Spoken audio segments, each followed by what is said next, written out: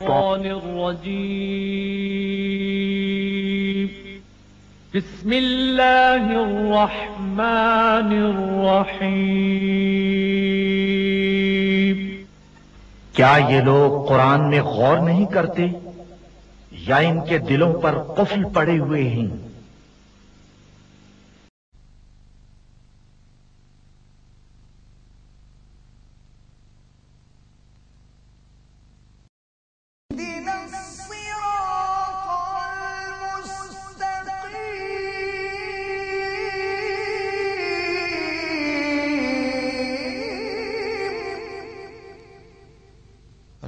الحمد لله رب العالمين والصلاة والسلام على رسوله الكريم محمد وعلى آله وأصحابه أجمعين.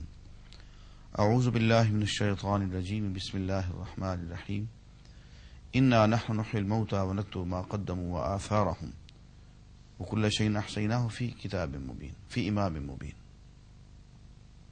سورہ یاسین کی ابتدا کرتے ہوئے آخرت کے موضوع پہ گفتگو کریں گے اور کچھ اور صورتوں کا بھی مطالعہ کریں گے۔ اس آیت کا ترجمہ یہ ہے کہ ہم مردہ کو زندہ کرتے ہیں اور لکھتے چلے جاتے ہیں لوگوں کی ان اعمال کو جو انہوں نے آگے بھیجے وہ آثار اور ان اعمال کے آثار کو جو وہ پیچھے چھوڑ جاتے ہیں۔ معلوم ہوا کہ انسان کی زندگی میں اعمال کا جو اندراج ہوتا ہے وہ تین قسم کا ہوتا ہے۔ ایک تو وہ عمل جو اس نے کر دیا، درج ہو گیا۔ دوسرا، اس عمل کے امپریشنز ہوتے ہیں، اثرات ہوتے ہیں، خود اس کی اپنی شخصیت کے، شخصیت پہ، اس کے ماحول پہ۔ روحانی اثرات ہوتے ہیں، نفسیاتی اثرات ہوتے ہیں۔ اور تیسرے اس عمل کے نتائج ہوتے ہیں جو بہت طویل عرصے تک جاری رہتے ہیں۔ مثلا ایک شخص نے ایک ہسپتال قائم کر دیا۔ اب جب تک وہ ہسپتال میں لوگوں کا علاج ہوتا رہے گا، اس کو اجر پہنچتا رہے گا۔ مسجد قائم کر دی۔ ایک شخص نے ہیروئن کی ایجاد کر دی، شراب کی ایجاد کر دی۔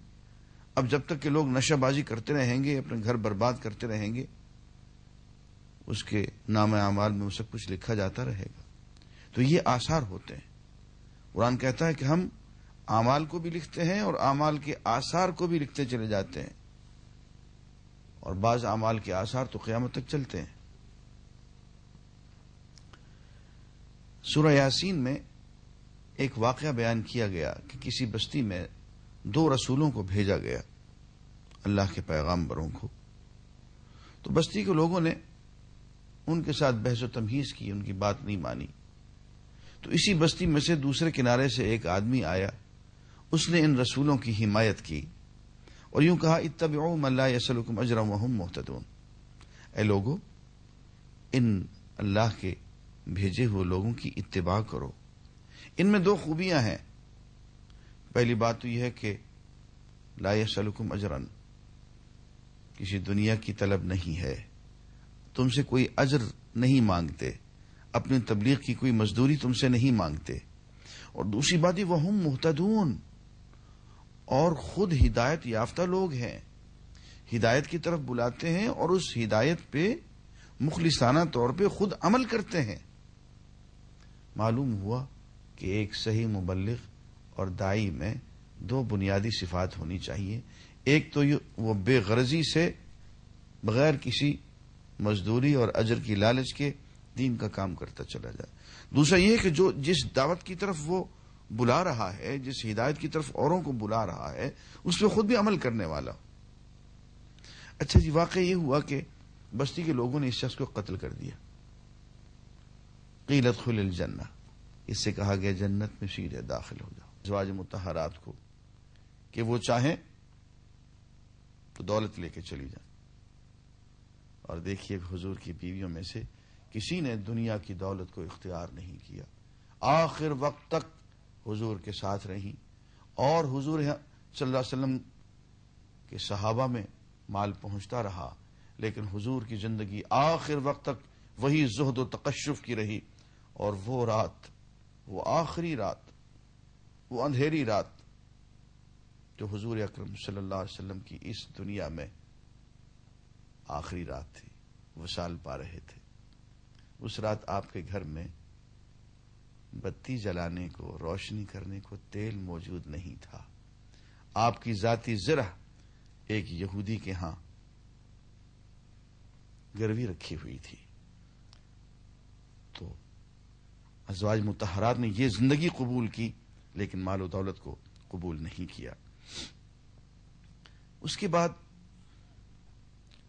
ایک خطاب ہے حضور اکرم صلی اللہ علیہ وسلم کی بیویوں سے۔ میں وہ خطاب جلدی سے پڑھ کے آگے رخصت ہوتا ہوں۔ ارشاد ہے، نبی کی بیویوں، تم عام عورتوں کی طرح نہیں ہو۔ اگر تم اللہ سے ڈرنے والی ہو، تو دبی زبان سے بات نہ کیا کرو کہ دل کی خرابی کا مبتلا کوئی شخص لالچ میں پڑ جائے۔ بلکہ صاف سیدھی بات کرو۔ اپنے گھروں میں ٹک کر رہو۔ اور سابق دور جاہلیت کی سج دھج نہ دکھاتی پھرو۔ نماز قائم کرو زکات دو، اور اللہ اور اس کے رسول کی اطاعت کرو۔ اللہ تو یہ چاہتا ہے کہ تم اہل بیت نبی سے گندگی کو دور کرے اور تمہیں پوری طرح پاک کر دے۔ یاد رکھو، اللہ کی آیات اور حکمت کی ان باتوں کو جو تمہارے گھروں میں سنائی جاتی ہیں بے شک اللہ لطیف اور باخبر ہے۔ اس کے بعد ایک موضوع ہے، بہت دلچسپ موضوع۔ میں اکثر اپنے دوستوں سے، علماء سے یہ پوچھتا ہوں کہ یارو یہ بتاؤ، یہ جو ہم درود شریف پڑھتے ہیں، اس کا فائدہ کیا ہوتا ہے؟ اللہ تعالیٰ کہتا ہے، ان اللہ ملائکتہ یسلون علی النبی۔ یا ایھا الذین آمنوا صلوا علیہ وسلم تسلیما۔ اللہ بھی اس کے فرشتے بھی حضور پہ درود بھیجتے ہیں۔ اہل ایمان تم بھی بھیجو، درود بھی بھیجو، سلام بھی بھیجو۔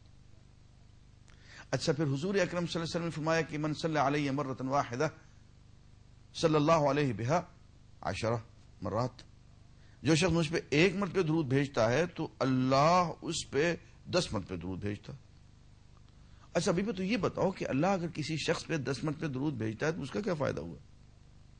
درود بھیج دیا، چلو آگے۔ فائدہ کیا ہوا؟ ہمیں تو نقد کی بات بتاؤ۔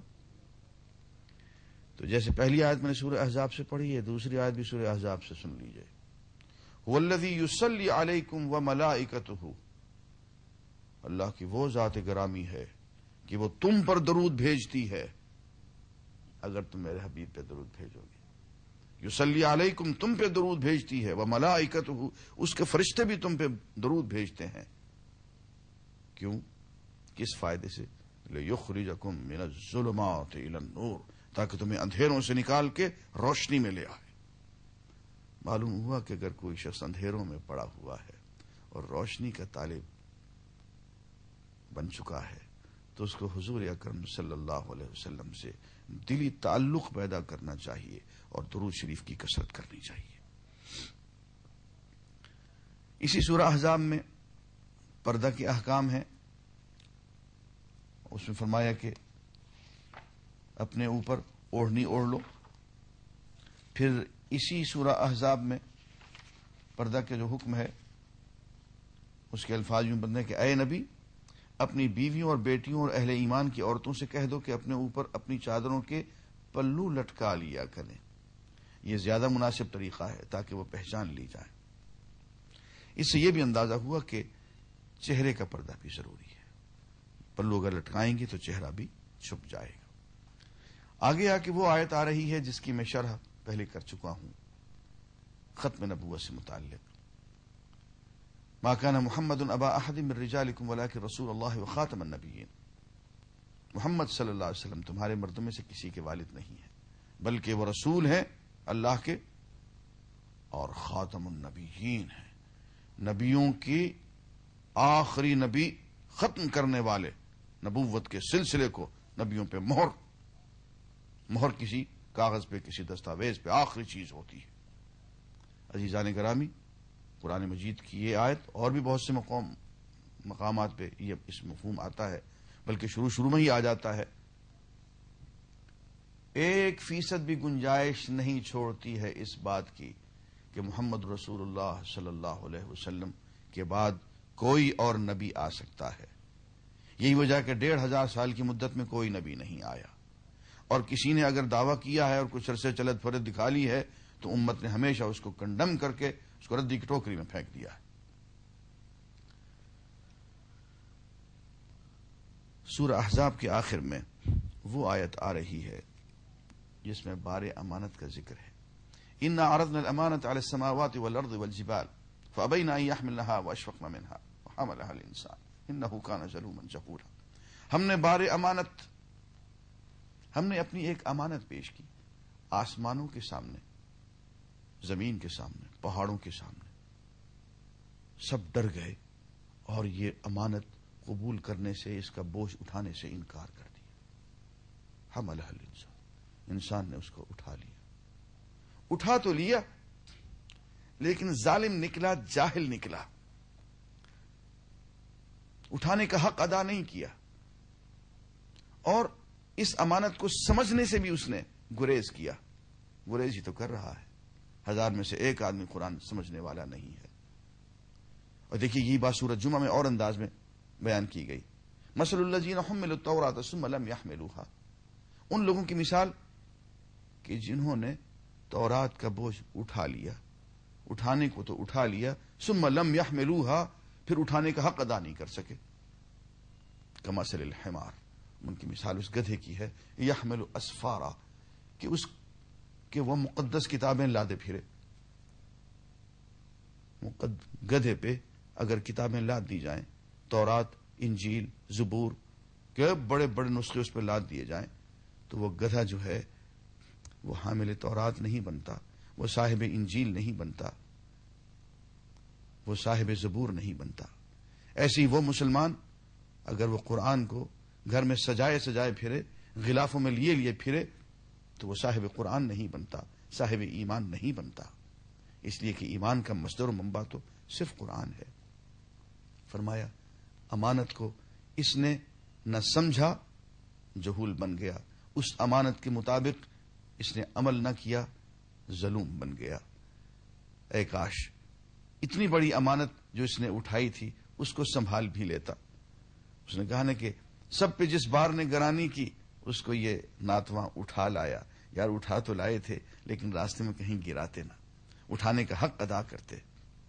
آسماں آسماں، باری امانت، نتوانست کشید۔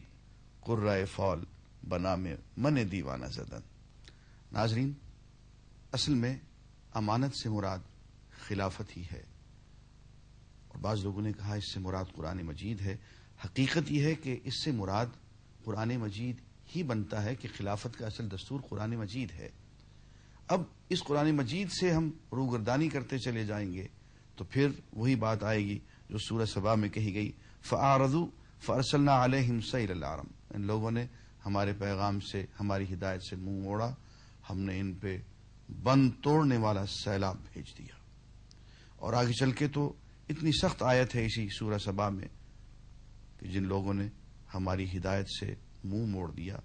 فجال نہ احادیث ہم نے اسے انہیں قصے کہانیاں بنا دیا، قصہ ہائے پارینہ بنا دیا۔ وہ مزق نہ ہم کل ممزق۔ اور ان کو ٹکڑے ٹکڑے کر دیا۔ ہم اللہ کی پناہ میں آتے ہیں اس سے کہ ہم ظلم و جہول بنے یا ہم پہ اللہ کی یہ وعید صادر ہو۔ آگے چل کے ہم دیکھتے ہیں کہ سورہ فاتر میں یہ بات اور وضاحت سے بیان کی گئی۔ ارشاد ہوا ان نما یکش اللہ من عباد العلماء۔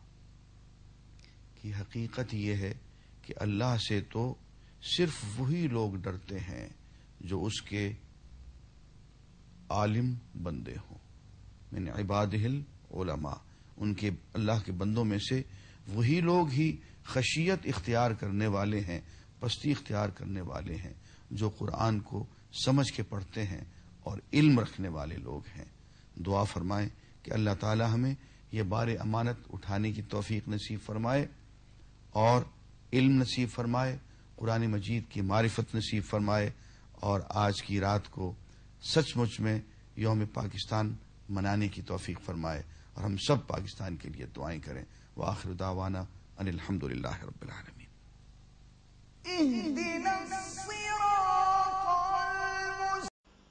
اے اللہ پاک، پیارے نبی پاک کے صدقے میں ہمیں قرآن کریم پڑھنے، اس کو سمجھنے اور اس پر عمل کرنے کی توفیق عطا فرما۔